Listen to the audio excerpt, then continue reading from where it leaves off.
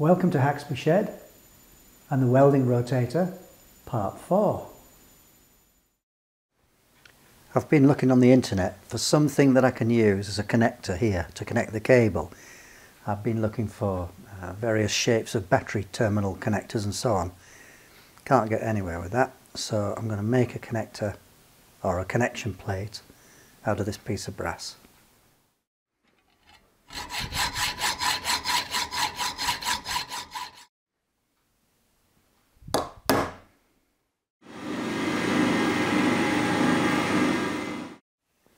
I've clamped the work to this face plate and that allowed me to cut the arc that I need in this connector plate here. Bit dangerous as you can imagine but I've put a piece of wood behind the cross slide here to make sure I can't go too far this way.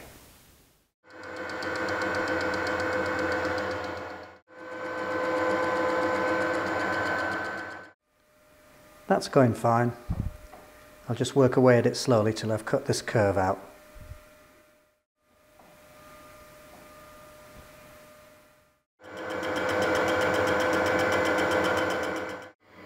I'm just taking it steady, 480 RPM, half millimetre cuts. I'm not in a rush. I'm going to do that last bit by hand, I don't want any disasters at this stage. I'll just clean these ends up. There's always a job for a shaper.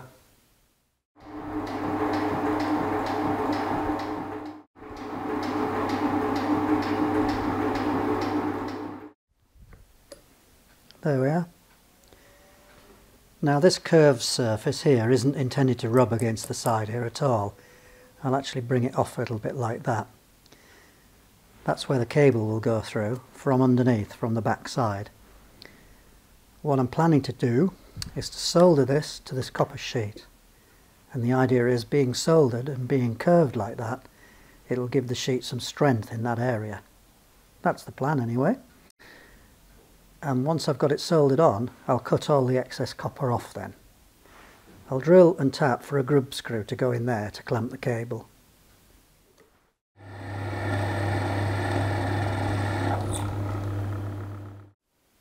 Start this tap off in here. Brass is funny stuff isn't it?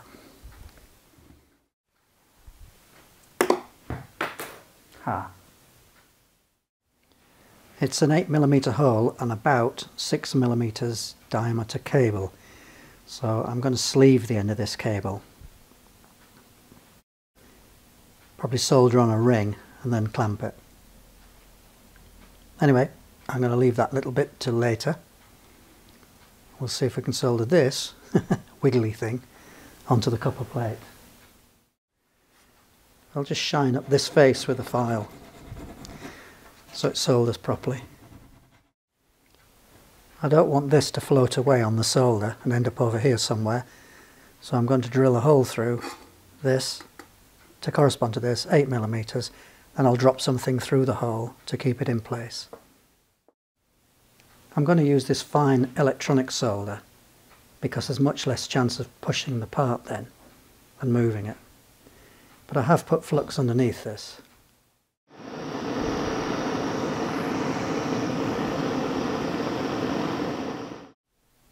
Well, the solder's flowed under and I've managed to keep it off this plate here. So maybe that'll be okay. Well, it's on there in the right place. So the next job is to trim the excess copper off.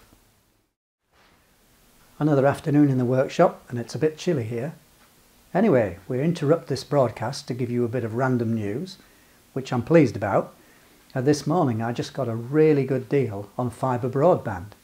So, since forever, I've been on uh, fibre to the cabinet, so it's copper from the cabinet to the house.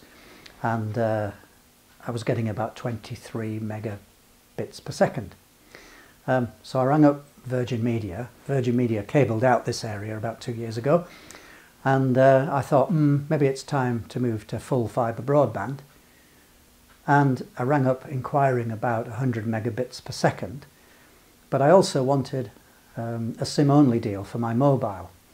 Anyway, so the lady in sales said, if you go for the SIM-only deal for the mobile for £4.99 a month, we'll double all your rates, data rates. And so for £29 a month, I'm getting 200 megabits per second down, 20 megabits per second up, and an allowance of 10 gigabytes on my SIM-only deal. it was a deal that just kept giving. It was like, shall I go for this? Oh, well, we can do this, we can do this. It's like, right, when can you start? So it's not coming into service until third week of January, which is my current provider's contract ends then. But anyway, I'd be interested to know what you get where you are. Just a little bit of a side subject. Let's get on with this.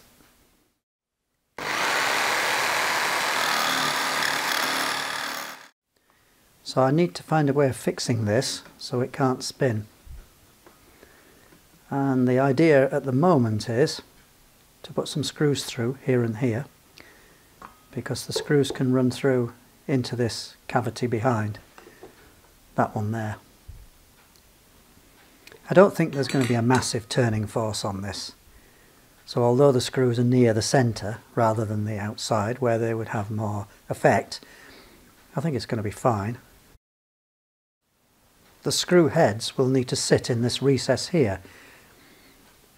It's 2.7 millimeters deep and I've got some screws here which have got a head of about 2.5 millimeters. So they would sit in there without interfering with this. Found some little flat nuts and they just sit within this first insulating ring here. Holes drilled there and there. So now I need to spot through this plate, shorten these screws, and that's done I think.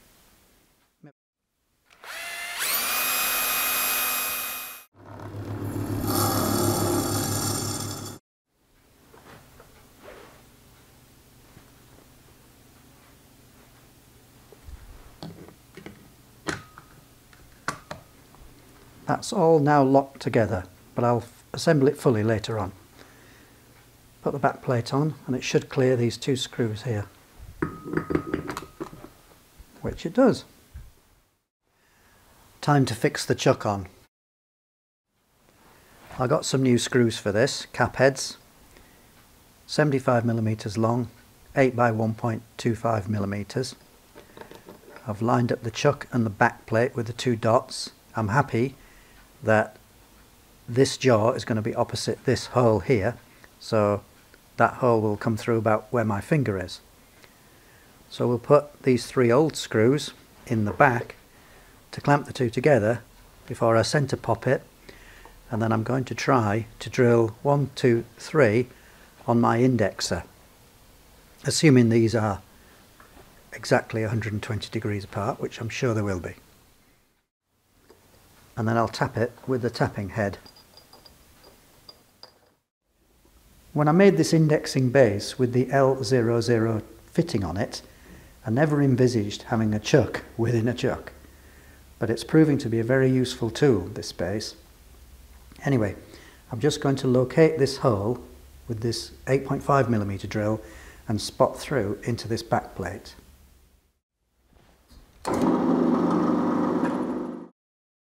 Now with the 6.8.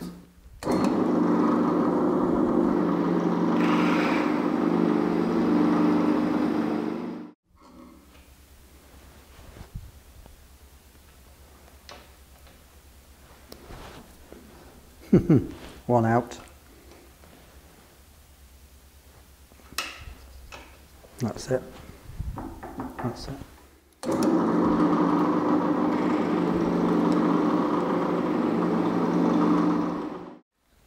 Now I'll set it up for tapping. We'll start by putting on this reaction bar, which I made in an earlier video. Lock it on with an Allen grub screw.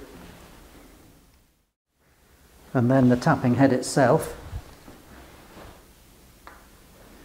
I'm going to have to adjust this to get it to fit in, of course.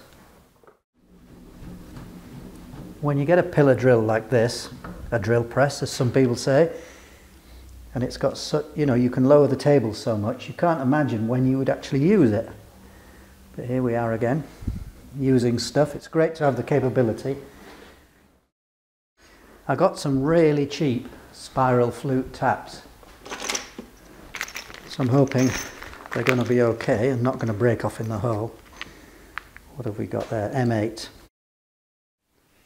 Right, here goes. You'll see this rotating backwards to start with. Once it starts to cut, this will reverse and turn the correct way. And then when we get down to the bottom, I just lift and it'll reverse out.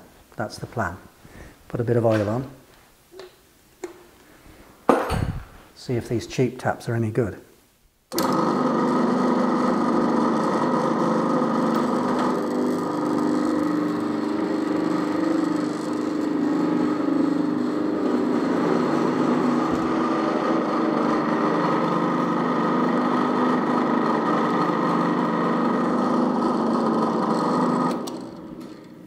Answer is yes, they are.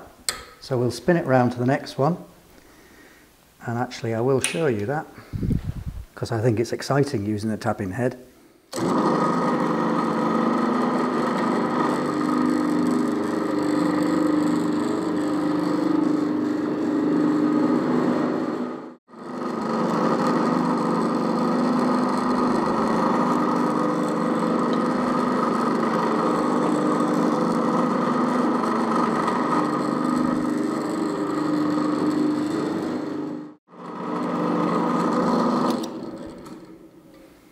And there we are.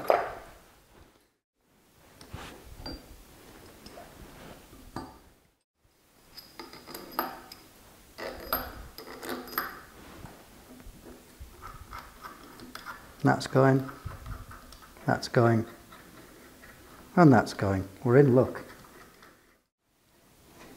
Actually, these are spot on. There's no resistance at all. It's perfect.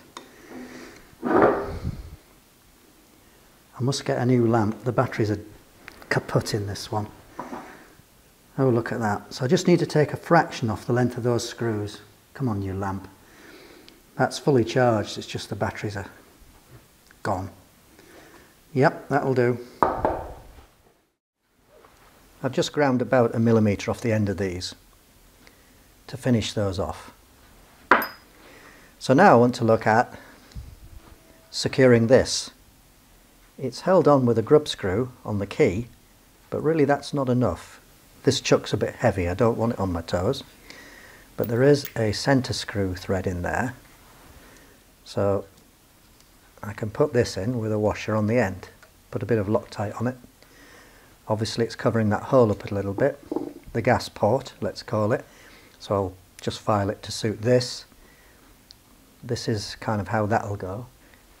I can probably get some highly flexible tube rather than this PVC pipe. But even so, it's decision time about the length of this. It doesn't need to stick out anything like that much. The considerations are really, hang on, oh there we are. The considerations are, I want the jaws to be able to close, so we've arranged it so the pipe comes out the side here. But I don't know it might be I want something in the vice as small as that. But for some reason, and I can't tell you why, I might need the tube to come up through the centre. Well, I don't want the tube having a massive kink in it like that to get up the centre. So taking more off this might be a good idea.